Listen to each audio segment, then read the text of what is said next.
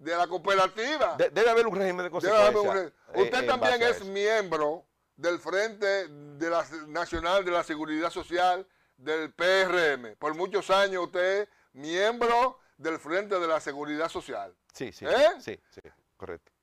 Tres años. Y del Frente de Contadores también. Y del Frente de la, bueno, el Frente de la Seguridad Social, del Frente de Contadores también del PRM. Sí, correcto. Ah.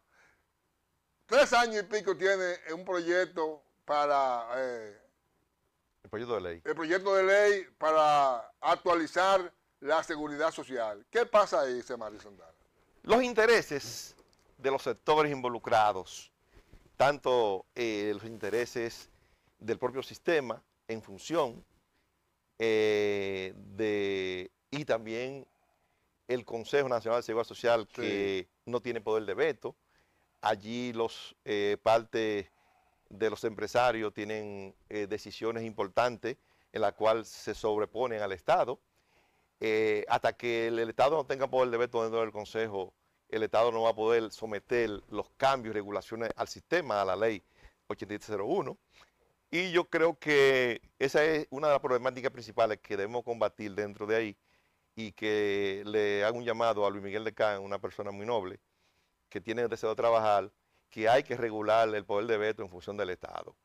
Y eh, desprenderse de los intereses eh, las ARS tienen muchos poderes, las AFP tienen muchos poderes y son, eh, yo diría, poderes ocultos aparte que inciden en contra. El sector financiero administra el eh, fondo de pensiones y también las ARS, la, de, salud.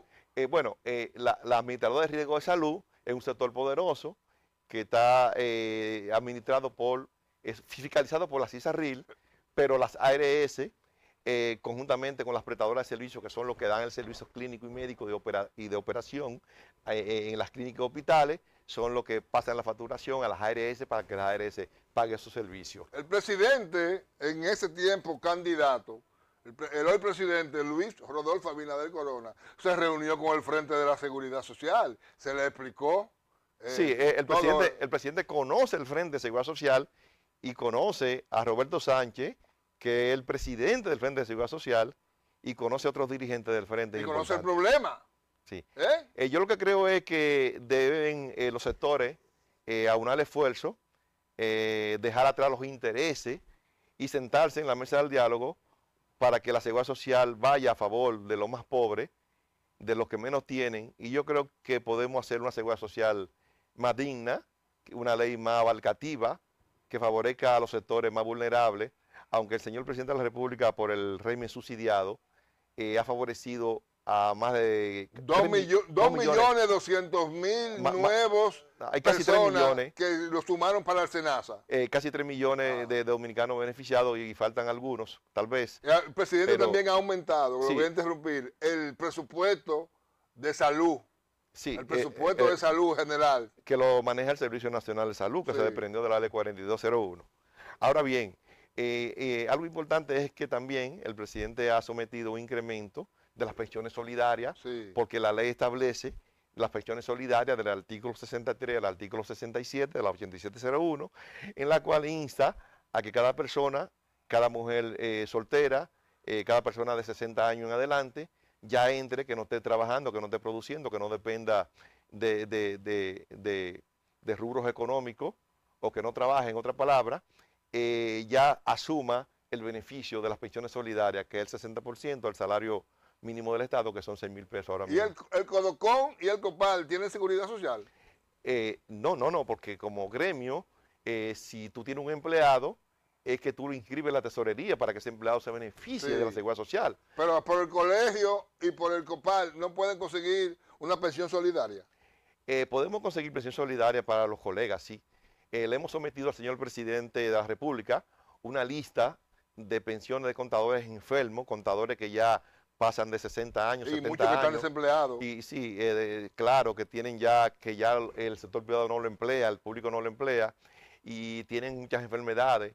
Y le estamos exhortando al presidente, al señor presidente de la República, que por favor eh, esa lista está en su despacho, está sometida más de cuatro meses en su despacho, para ¿Un que listado usted sometió? sí, el instituto y el, y el, y el CODOCON, el Colegio Dominicano de Contadores, sometimos un listado de, con miembros de los gremios enfermos que están, como decía, para que el señor presidente en su momento eh, solicite eh, a, a la parte jurídica y a la parte secretarial que sabe de ese listado que está sometido en el Palacio, vía jurídica, para que los contadores se beneficien eh, y, puedan comprar su medicamento eh, de esa pensión que como ente humano y social y una vida productiva que los contadores han hecho en este país eh, si- sin resarcirse, eh, el presidente tome en cuenta eso, porque los contadores han aportado históricamente a la economía del país, a los impuestos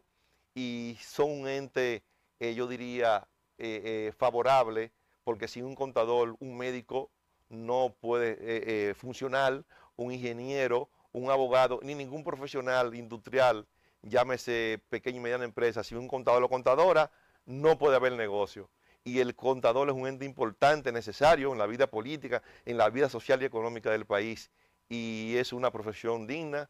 Y hoy en día los contadores eh, necesitan de que el presidente de la República le apruebe ese listado de pensión que sometimos para beneficio de su familia que están pasando la mil una noche eh, porque están sin empleo y están enfermos. Y que aprueben el proyecto de ley para la unificación de Del- ambos de- del de- colegio de- y del instituto. El proyecto de ley del COPAL Sí. que está sometido en el Congreso, que el presidente puede ayudarnos eh, a que ese eh, tema sea de prioridad para que este año sea aprobado el COPAL, que es la fusión del Instituto de Contadores y el Colegio Dominicano de Contadores en ese proyecto de ley con el nombre de COPAL. Gracias por la visita, Semari. Llegamos al final del programa. Muchas gracias, Idel Moro. Eh, continúe con esta programación.